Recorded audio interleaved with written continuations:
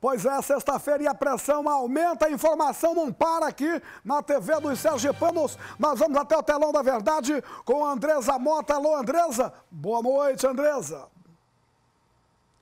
Boa noite, Douglas. Boa noite a todos. É o seguinte, hoje, mais cedo, por volta das 10 horas, a Capitania de Portos aqui de Sergipe realizou aí uma homenagem a cerca de 550 pessoas mortas em um naufrágio em agosto de 1942. Quem vai dar mais informações sobre esse evento é o comandante da capitania, o Alessandro Black. Comandante, como é que foi essa, eh, essa homenagem, né? Esse momento hoje pela manhã?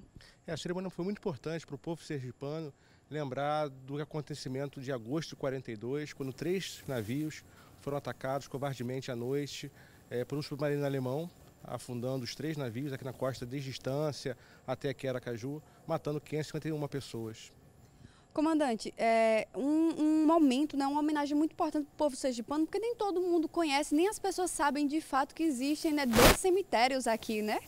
É, o cemitério do, dos náufragos conhecido foi onde primeiramente os corpos foram enterrados, depois com a construção da rodovia José Sarney, alguns corpos foram trasladados para outros cemitérios e foi criado esse memorial na área do Mosqueiro, para que fosse lembrado esse momento histórico para o Sergipe e também para o país. Que a partir desse, desse evento, 15 dias depois, o Brasil acabou declarando guerra ao eixo, né, as nações, tanto a Alemanha quanto a Itália, é, e o Brasil entrando na Segunda Guerra Mundial, oficialmente. Obrigado pelas informações, comandante. É isso, Douglas. Muita história aqui em Sergipe que o, o povo ainda precisa conhecer. Eu volto com você. Muito obrigado, Andresa. Ontem nós mostramos aqui no Cidade Alerta um caso de violência em São Cristóvão em que um empresário foi morto na frente da própria esposa. José dos Santos Júnior, 43 anos, foi assassinado a tiros no momento em que chegava em sua propriedade. O corpo do empresário foi sepultado na manhã de hoje e você vai acompanhar agora a reportagem completa.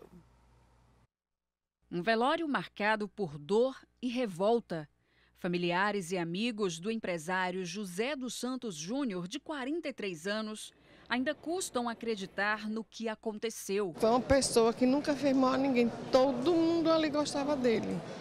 Todo mundo. Ontem, quando eu vi, eu tomei susto.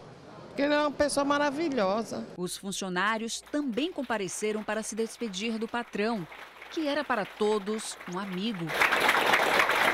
Para mim mesmo, ele não era nem só um cunhado para mim, ele era um cunhado e um, um irmão, ou mais do que um irmão.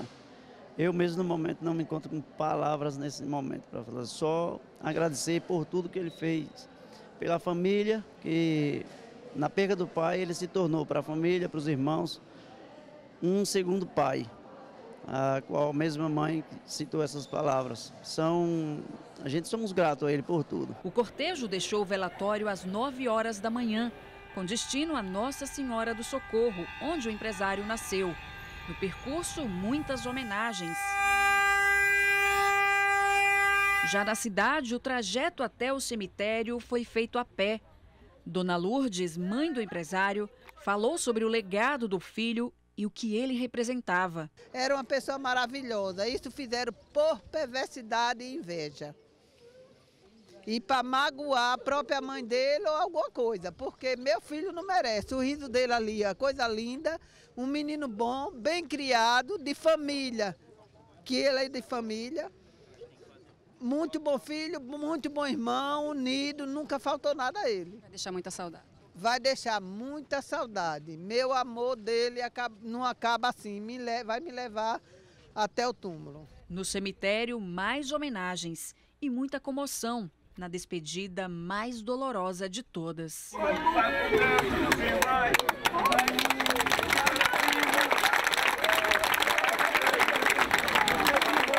Um crime que ainda é um mistério para a polícia. O empresário Júnior Pipa foi assassinado na propriedade dele, na zona rural de São Cristóvão, por um homem que chegou, efetuou os disparos e foi embora sem levar nada.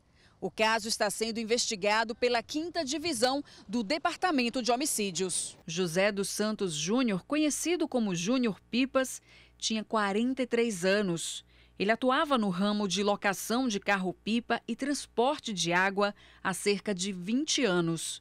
Deixa esposa e duas filhas pequenas.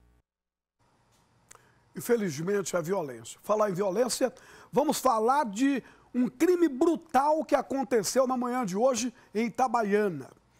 O assassinato de um caminhoneiro a pauladas. Manuel Gomes de Oliveira, 48 anos de idade, popularmente conhecido como Pezão, foi morto por volta das 7 horas da manhã, após discutir com um carroceiro que estava nas proximidades de sua residência mexendo no lixo. Após o crime, a polícia foi acionada e fez os levantamentos para tentar localizar o criminoso. Quem tiver informação que possa ajudar a polícia nesse caso, deve ligar para o 181, infelizmente. Um assassinato por causa de lixo. Onde é que nós estamos? E agora nós vamos à nossa Gilmara. Hoje é sexta-feira. Cadê você, Gilmara? Se você é como eu e ama uma bolsa nova, mas também não perde uma promoção, vem pra Capite, porque aqui tem bolsa feminina por 75, compra uma e ganha outra. Eu já escolhi a minha, porque eu quero uma de cada cor e modelo. E eu só encontro na Capite. Como eu também encontro mochila de costas a partir de R$ 37,99. E para os homens tem também mochilas, bolsas e acessórios com preços especiais. E por falar em preço baixo, que é sinônimo de Capite, aqui tem mala para viagem, a grande está com preço especial. E você ainda divide em até 10 vezes e mais. Ganha uma capa protetora A Capite, você já sabe, calçadão João Pessoa, número 181, no centro da cidade. Você sobe aquelas escadinhas, a loja é no segundo piso, tá, gente? Uma loja completa, climatizada, com atendimento de primeira, pronto para receber você. Então, pare de ficar rodando por aí. Vem logo para a Capite. Obrigado, Gilmar. A gente quer abraçar o pessoal aí no Boteco do Criança, no Marcos Freire 3, e também a turma da mercearia do Ivan, no bairro Industrial. A turma toda prestigiando nosso programa. Muito obrigado. Acompanhe agora as imagens de um assalto que aconteceu ao micro-ônibus da linha Aracaju Estância. Solta aí, por favor. Coloca na tela. Olha a ousadia dos bandidos fazendo o arrastão dentro do ônibus. Esse aí tá com uma escopeta. É uma arma longa. Olha só. E apontando para as pessoas, pedindo coloca a mão na cabeça e passa tudo para cá. Esse aí passa com a arma para intimidar as pessoas. É o chamado enquadramento. E lá vai ele enquadrando. Depois do enquadramento vai ter a sessão, vamos correr a sacolinha. É um absurdo, gente. Olha, imagens exclusivas. Exclusivas. Olha esse aí agora. É o que vai correr. É o que vai correr a sacolinha. Olha aí, tirando. Olha aí. Ele olha, tem um relógio no braço, ele vai e tira o relógio do braço. E vai ele. Agora nós temos um contraplano das cenas dentro do micro-ônibus. E o homem de camisa listrada aí continua fazendo o, o, arrastão. O nosso consultor de segurança pública, Coronel Maurício Uno, está aqui assim com o olho estatalado. Coronel, não é brinquedo não. né? Com a situação como essa, né? A população é, é, sofrendo com esses assaltos, esses arrastões. Eu acho que é muito perigoso hum. essa situação. É, é bom lembrar, é, uma, essa senhora que está no primeiro banco, ela ainda tentou esconder né, o celular. Exato. Isso é muito preocupante.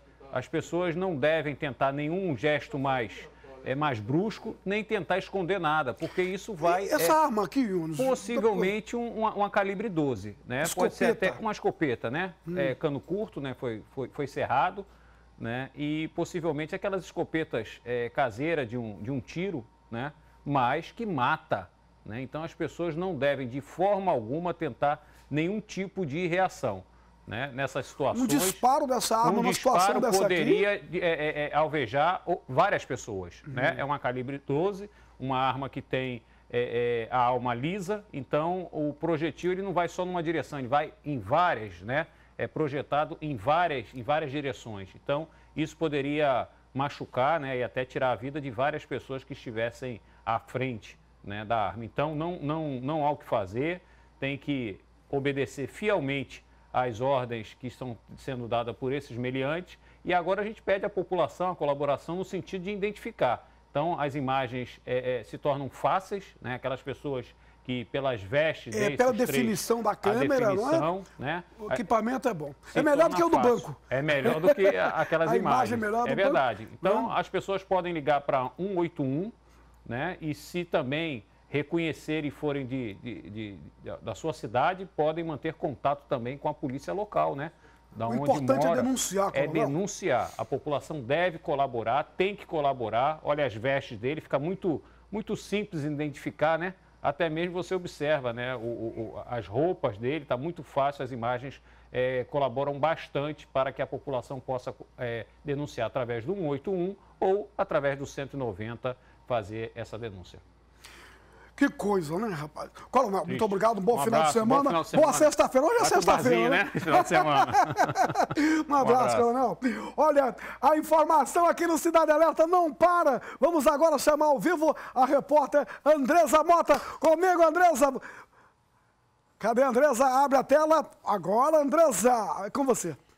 Boa noite novamente, Douglas. A informação é o seguinte: esse senhor, o senhor José Chagas Sobrinho, é filho do senhor Manuel Chagas dos Santos, de 79 anos. E esse senhor desapareceu no último dia 14, ali por volta das duas horas da tarde, e a família está desesperada. Seu José, eh, como é que vocês estão fazendo para ter informações aí do seu Manuel? Olha, a princípio nós é, coloca- começamos a colocar cartazes, entramos nas redes sociais, o grupo de WhatsApp, né? E a partir de hoje a gente começou a colocar cartazes, espalhar no- nos terminais, nos pontos de maior concentração de, de população, né? Para que as pessoas en- entrem em contato conosco através dos números aqui citados, né? 317, não, 3217 1250, 9981 7269. Agora, pedir que o seguinte, que quando as pessoas ligarem para a gente, que seja uma, é, uma notícia verídica, que é para a gente não ficar com a frustração de chegar lá e ser uma informação falsa, entendeu? Porque isso é muito desgastante para toda a família. Né? Mas que as pessoas liguem, liguem porque a gente vai atrás da informação para ver se é, se é verídica. Seu José, e a informação é que ele estava na porta de casa e foi dar uma volta de ônibus e não voltou. Foi. Geralmente, após o almoço, ele fica próximo da esquina da residência dele, né? E aí os amigos, segundo os amigos, ele saiu para dar uma volta de ônibus. Eu acredito que ele te- tenha tido um lapso de memória e não soube retornar para sua residência. Como ele é uma pessoa que fala pouco, provavelmente ele deve estar sofrendo algum lapso e não consegue retornar para sua residência. E aí a gente fica na frustração, procurando, já circulamos toda a cidade, todos os pontos possíveis que imaginamos que ele possa estar, só que até agora nós não obtivemos sucesso. Então a gente conta com a população que está nesse programa, que nos liguem. Agora, volto a dizer, com ligação que a gente possa ser verídica, que é para não frustrar a família e a gente ficar sofrendo mais do que o que a gente já está sofrendo. Nós desejamos aí boa sorte para o senhor e que a população de alguma forma colabore. Eu volto com você, Douglas. Muito obrigado, Andresa, porque hoje é sexta-feira. Manda um abraço aos amigos do Pati. Aí na 13 de julho tá todo mundo ligado no Cidade Alerta Sergipe. Eu vou ao intervalo comercial. Volto já.